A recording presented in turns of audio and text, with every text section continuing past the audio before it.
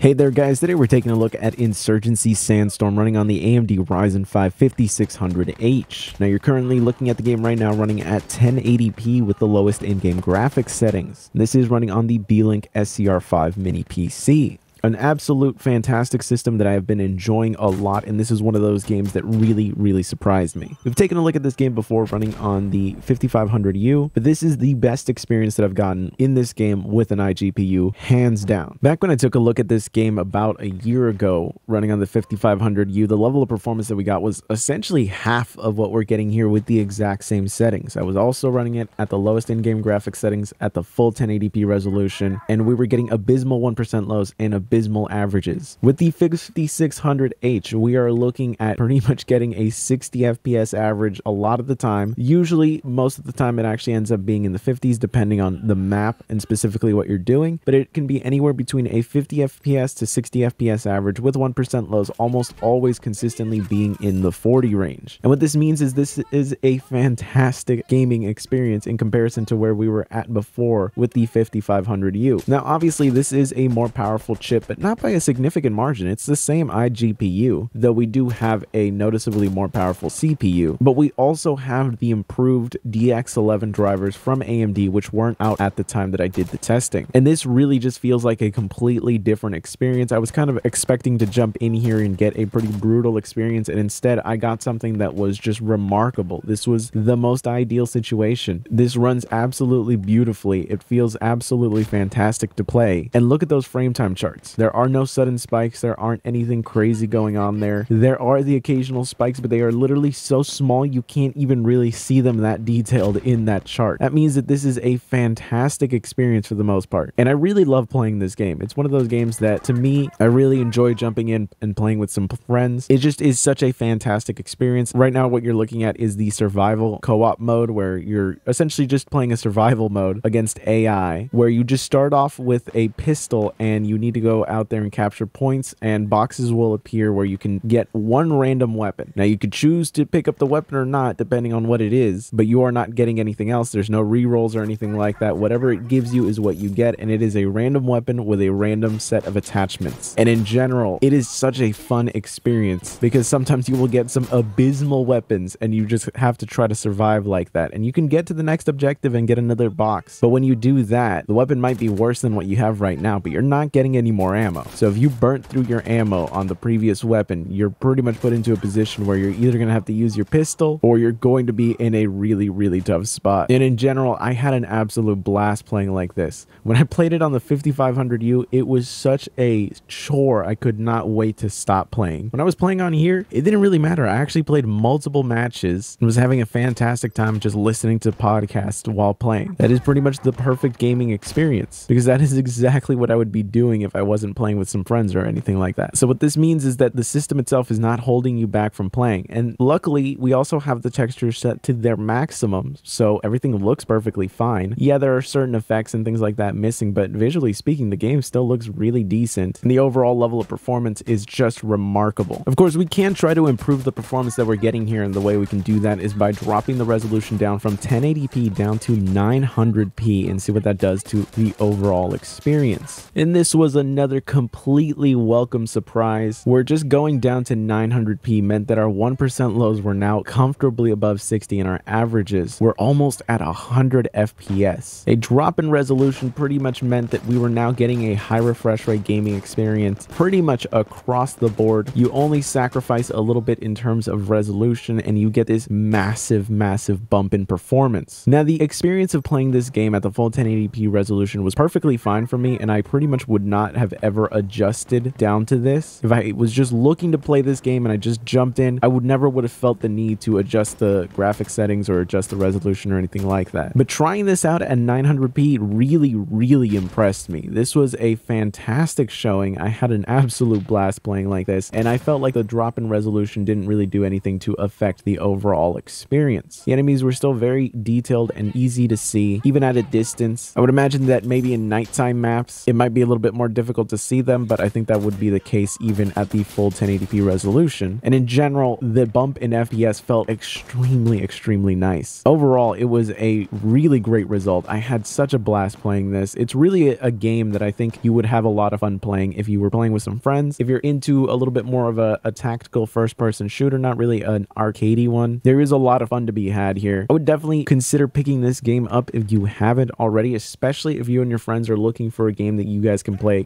co-op together. You can pretty much just load into a server with as many friends of yours as you want and have an absolute blast. I've been a big fan of the Insurgency franchise since the first game, which unfortunately has been such a hidden gem because not a lot of people play it. And that breaks my heart because I love the game so much. I love Source Engine games in general because the Source Engine just in general runs really, really smooth. And you have a massive modding community for the original Insurgency. And in a lot of ways, I still love it more than I do Insurgency Sandstorm. I really was not a fan of Sandstorm when it first launched, but it has gotten patched enough that the game is just overall better. It performs significantly better. And I am genuinely shocked that we're getting this good of a result without a graphics card. With just integrated graphics, we are getting this good performance at the full 1080p resolution and at 900p. The Beelink SER5 mini PC really continues to just amaze me with the level of performance that you can get out of it. And it is currently hands down the most powerful mini PC for the dollar. To get any kind of meaningful improvement over this, you're looking at spending a lot of the times double what it currently sells for on Amazon. And any system that is below its price point of around $350, it usually fluctuates anywhere between 300 to 350. There's just nothing that competes with it anywhere near this, anywhere below this, and everything above it is just so grossly expensive that you're looking at spending a lot of the times double. So it really has just carved a really nice niche in its market where at the price point that you're at, it's hard to even piece together a dedicated gaming system. You're not really going to be piecing together a desktop at that price point without going into the used market. And there are a lot of issues that come with that, especially after such a large mining boom where you don't know what kind of conditions your graphics card has been through if you go through the used market. You might end up buying a graphics card that was treated so poorly that it might end up dying on you within a year or two. Now, I don't want to fear monger or anything like that because it really is a luck of the draw. You might get a graphics card from a miner that was treated perfectly fine and it's going to last you for years and years, or you're going to get one that is an absolute disaster and it could just end up dying on you immediately. That's kind of the gamble that you take with the used market. In general, though, it's hard to beat this mini PC at the price point that it's at. So if you're interested in picking it up, check out the Amazon affiliate link down below. It would